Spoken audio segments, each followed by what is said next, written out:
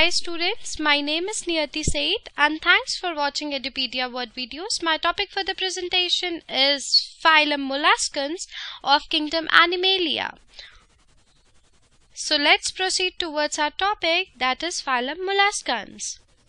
This is the second largest animal phylum. Okay, the main characteristic of molluscans are that uh, they have unsegmented soft body, they mostly have internal or external shells. They have mantle. Mantle is a fold in a body wall that secretes the hard protective shell. Okay. They have muscular foot or tentacles. They have radula. Radula is a toothed structure used to grate food. Okay. They have two pairs of gills except in uh, pulmonate snails. They are triploblastic in nature. They are, they are coelomates. They have bilateral symmetry. They are terrestrial and aquatic. The body is surrounded by calcareous shells as I have told you that they mostly have internal or external shells. Uh, their body is surrounded by calcareous shell. That means it is made up of calcium carbonate except slugs and octopus okay which are soft bodies. Internal shell is found in sepia okay this is an exception. In mostly uh, species of molluscans outer calcareous shell is found. But uh, sepia is an exception where uh, it is uh, located internally okay. As I have told you that their body is uh, segmented soft body they have three parts head and ventral muscular foot and a dorsal visceral hump. Skin over visceral humor form a mantle that shell. Okay, mantle is a fold in a body wall that secretes a hard protective shell. Okay, now come to their respiration and uh, excretion. Respiration is uh, which is present just below the mantle. I repeat, what is a mantle? A mantle is a fold in a body wall that secretes the hard protective shell. Okay. Head, their head has tentacles. The mouth has fill like rasping organ. Okay. They are oviparous. Their larvae is known as trochophore and veliger. Okay. Their examples are Pila which is commonly known as apple snail. Pinctada, that is uh, pearl oyster. Sepia, which is known as cuttlefish. Loligo means squid and octopus means devilfish. Okay. So they energy. All mollusks have different diets depending on class and surroundings. Okay. Organisms like slugs and snails they consume plant and sometimes other small creature contain a tug that shreds all food. Okay. Bivalves Bivalve is a class of uh, molluscans that we will be reading in the later section. Bivalves eat planktons and algae. Bigger ones like squid and octopi, it eats fishes, crustaceans and other molluscans. Okay. Mollusks living in uh, water use their gills as a means of obtaining energy. Gills absorb oxygen and let out carbon dioxide. Okay. In this case, gills not only used for respiration but also feeding as cilia coats the wall of the gills as particles of the food pushed out by gills and ingested by the organism. Okay.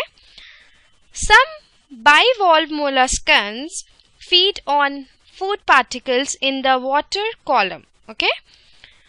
While others use a tubular siphon to vacuum food particles from their surface okay? That they are known as suspension feeders okay? This is the uh, representation of a snail okay? This is these are uh, tentacles these are eyes. It is a penis of a snail. It is an anus rectum blood vessel and mantle shell as we know that mantle is a, a, fold in a body wall that forms hard protective shell okay? It is a hermaphrodite means both sexes are not separate okay? These are the digestive glands this is the foot this is the stomach part this is the visceral mass mucous glands are also present just behind the uh, visceral mass. These are the salivary glands okay? And this is the esophagus and this is the radula okay so what is radula Radula uh, is a toothed structure used to grate food. Okay. Now, if we see about its development and evolution, then it is believed that mollusk evolved from the species similar to the one the right contained its gill, reproductive and excretory organs within the mantle cavity. Okay. It resembles limpet-like fossils. Okay. During development, mollusk underwent torsion causing the mantle cavity and all organs to end up resting over their heads okay means uh, torsion takes place and uh, because of torsion internal organs also get twisted hmm? Differentiates from other species because the classes of mollusk have always been debatable because they have evolved based on adaptation to environment and changing conditions okay most other phylums are not as divided, are not as diverse and have not evolved to the extent that the phylum mollusk have. Okay. Now, phylum mollusk is divided into seven classes. Which are those seven classes? Gastropoda, which have single shelled, okay? Example is cowries, okay? Second class is bivalvia, which is a two shelled structure example is mussels okay third class is aplacophora that example is solenogasters fourth is fourth class is monoplacophora the example is segmented limpets okay fourth fifth class is polycoplacophora examples are chitons Sixth class is Scaphopoda. Example is tusk shells. Okay. And the last class is Cephalopoda. Examples are cuttlefish, octopus, etc. Okay. Now we will proceed towards the first class that is Gastropoda which have uh, single shelled cowries. Okay.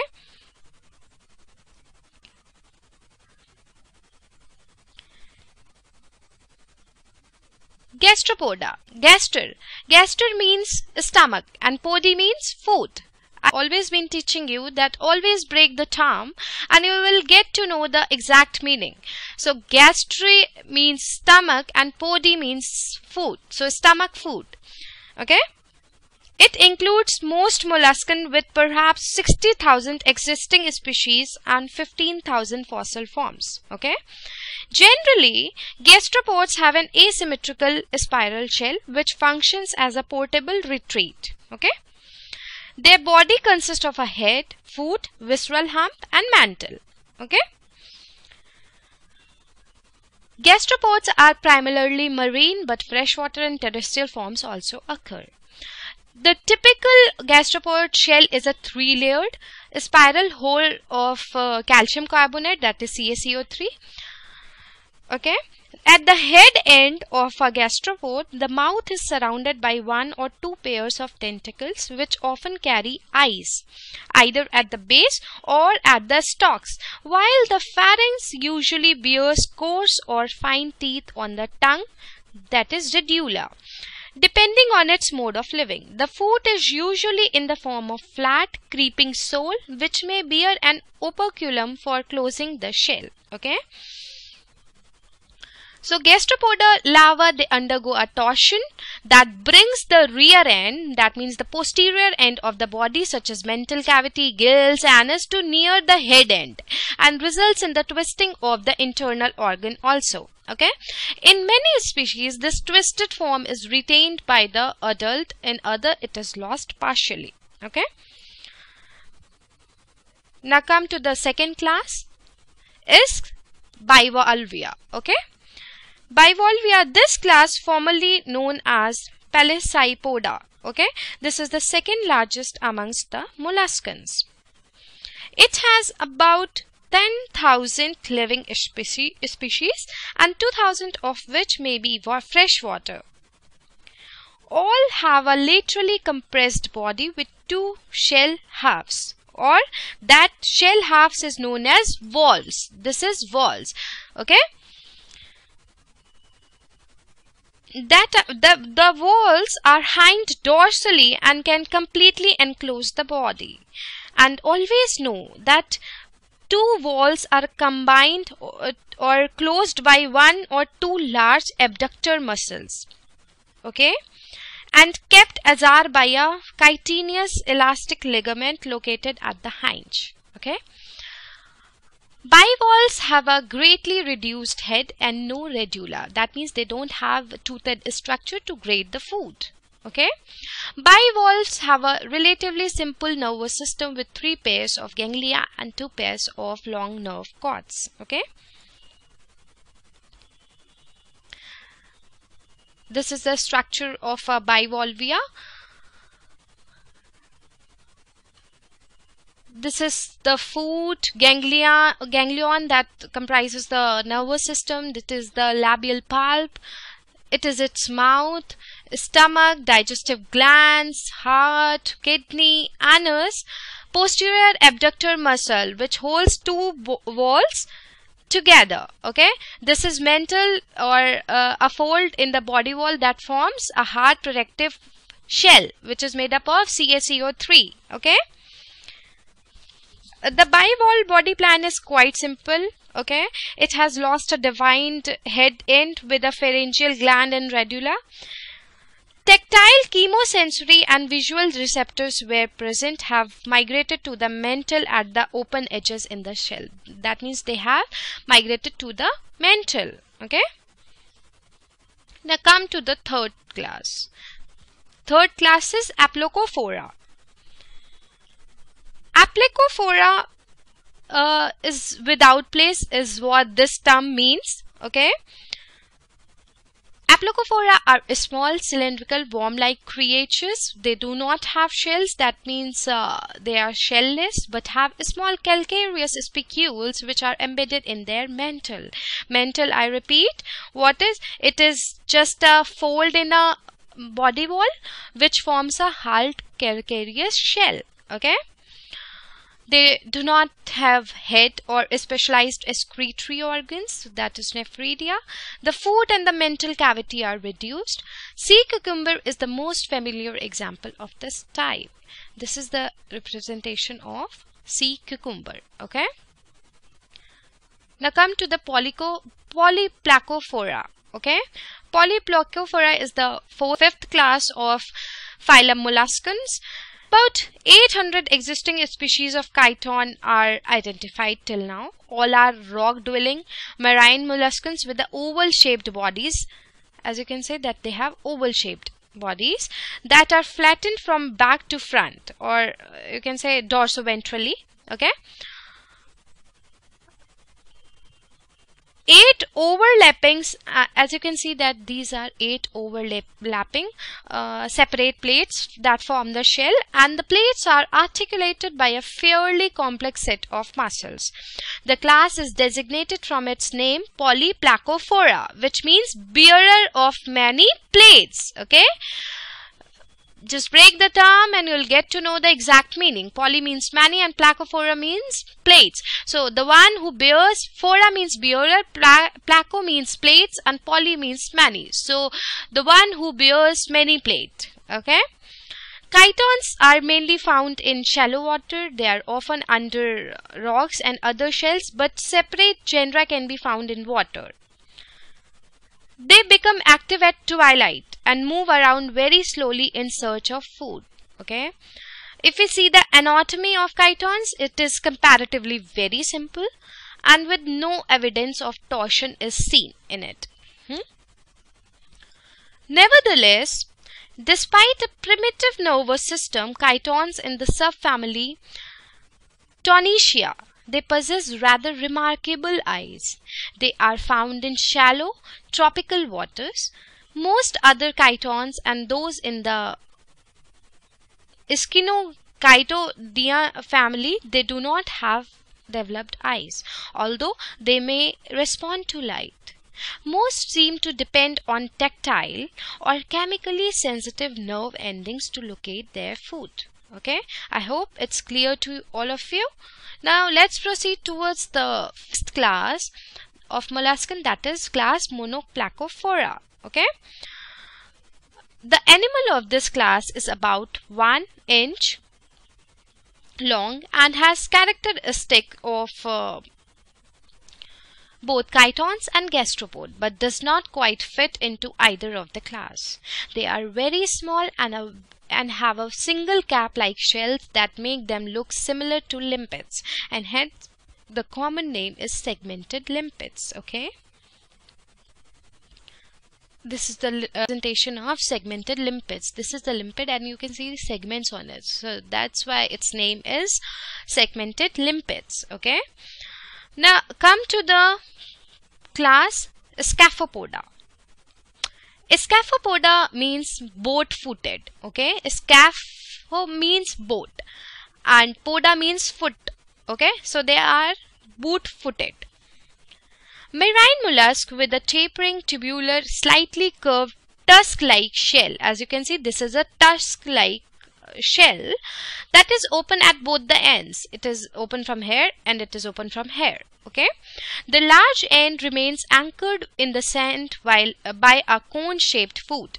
Influent and outfluent streams takes place at the narrow end. At the wider front end, a burrowing foot is generally extended. Okay. About 350 species are known till date, most found in 6 meters or more of water with a few species only found on the shore, okay, seashore. Cadula shells are typically 4 mm in length, whereas dentalium shells up to 150 mm have been found offshore of Japan. Okay. The shells are widely used for jewelry, and are often masked in the beaded portion okay of uh, American Indian clothing decoration okay this is the representation of uh, poda it this is its mouth this is its foot this is the mantle cavity okay and this is the anus okay now moving forward towards the class cephalopoda. The name means head-footed. That was boot-footed and this is head-footed. Cephala means head and poda means foot. So they are head-footed. These are exclusively marine mollusk that have a prominent and large head, eyes and tentacle. It is seen that shell is either internal or absent. Okay. This is uh, you can say an exception that shell is either interior or absent. As I have told you earlier that sepia is an example of internal shell structure okay and octopus is also an example Class Cephalopoda, it includes chambered nautilus, cuttlefish, squid, octopus, as well as fossil ammonite and other fossil forms. It is a very diverse class with 600 living species and more than 7,500 fossil species. Okay. In the evolution of cephalopods, three common fossil groups, uh, Orthoceratida, Ammonoidea, and Belemnoidea, they are particularly interesting, very interesting.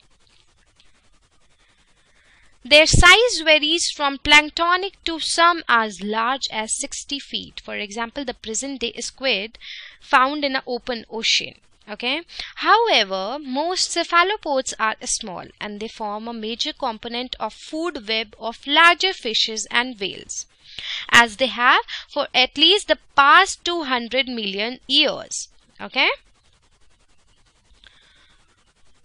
squid if you see they are dibranchiate okay they are dibranchiate as you can see in the diagram they have eight arms and two tentacles Body fins, internal shell vestige for muscle attachment. Okay. What remains in a squid is either a small horny plate that is completely encased by the mantle. Okay. Paired tentacles are used for lightning quick grasping of prey while the other tentacles are used for holding. Okay. Now if we see about the octopus, I haven't shown octopus image here but uh, I guess you know uh, what octopus is Octopus species they are also dibranchiate. They have eight equally long arms and no shell or internal vestige of a cell. Okay, most have no fins. Okay, they don't have fins. The vampire octopus are actually small squids. Most the but the two small uh, tentacles are not obvious. Okay. These are the representations of um, phylum molluscans. Sepia, Unio, pearl oysters, land snail, limnaea, dentalium, octopus. Okay. So this comes to an end. Thank you and stay tuned and keep watching Edupedia World videos.